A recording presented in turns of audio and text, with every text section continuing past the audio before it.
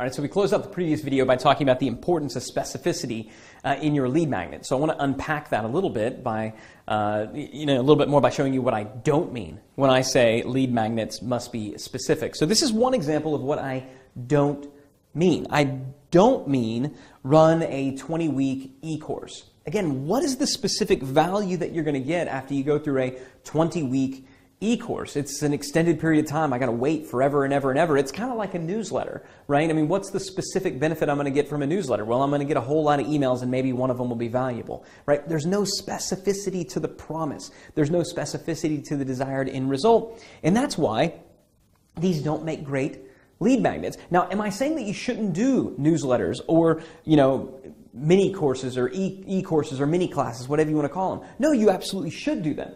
They should just be offered in addition to a great lead magnet. So for example, if you want to say, you know, thanks so much, you know, for subscribing to the special report on this as an added bonus, you're also going to receive my newsletter. Well, that's fine. Or if you want to have it as a checkbox option, that's great. All those things are fine. That should just be in addition to a lead magnet, not instead of. Okay, so I don't mean this. I also don't mean a trial. A lot of people think that a trial is a lead magnet, but a trial is not a lead magnet because a trial is basically saying, again, give me your contact information, I'm going to give you temporary access to something. Well, temporary access is not a true benefit, and everybody knows that you're in it for the money, right? There's no actual value being delivered here in advance. And that's what lead magnets must do. They must deliver real actual value in advance, and trials, they just don't do that. They just don't deliver real value in advance.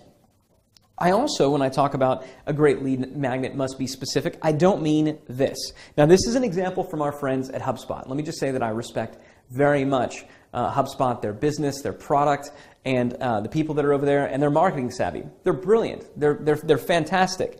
This one, though, this particular lead magnet, the introductory guide, how to use landing pages for business, lacks specificity. Because people don't wake up saying you know what? I just I, I, wish i knew how to use a landing page for business. That's not what they say. It doesn't speak to a specific desired end result. It doesn't make a specific promise. It's just kind of bland. It's kind of boring. It's kind of boiled chicken. And so what i'm going to show you later on in this particular section is how to take this exact lead magnet right here and how to kick it up a notch right? How to take the exact same lead magnet without having to recreate anything except for maybe the cover image and you know, really increase the conversion rate. Because let's remember the whole idea of optimizing the tripwire and what we're wanting to do here is to increase the number of leads that we're getting. So that's why I show this as an example. Okay? So this is what I don't want to see you doing. So what do I want to see you doing? Well, number one, I want to see you making a specific promise. Okay, make a specific promise. I'm going to show you some examples of that. I also want to see you give specific examples.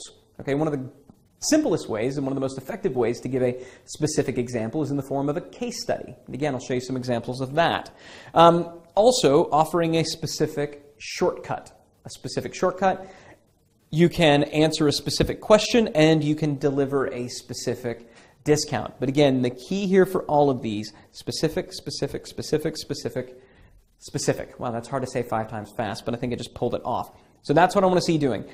One or some in many cases, you might even make all of these, but making at least one, you know, adding at least one of these aspects of specificity to your lead magnet is key if you want your lead magnet to convert, if you want to maximize your conversions, and if you want to maximize the number of leads that you're getting. So now let's go in and unpack all these, and I'll show you some examples.